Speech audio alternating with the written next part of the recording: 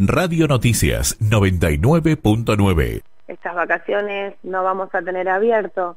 Por ahí hay mucha gente esperando estas vacaciones justamente para venir y conocer la pileta de Mardejo, pero bueno, a causa de que necesita la pileta, necesita tener una restauración, como decimos, va a estar cerrada por 15 días.